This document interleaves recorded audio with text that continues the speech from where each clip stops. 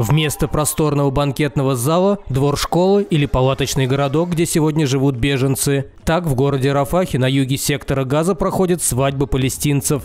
Я, конечно, хотел всего иного. Не палатка, а светлый банкетный зал, торжество, куча гостей. Но обстоятельства сильно изменились. В любом случае, мы благодарим Всевышнего.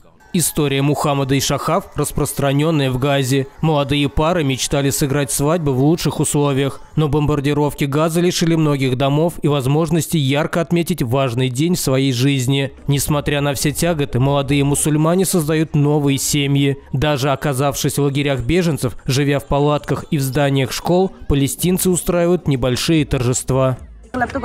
Когда моя дочь переживает за это, то начинает плакать. Я говорю ей, не плачь, это всего лишь деньги.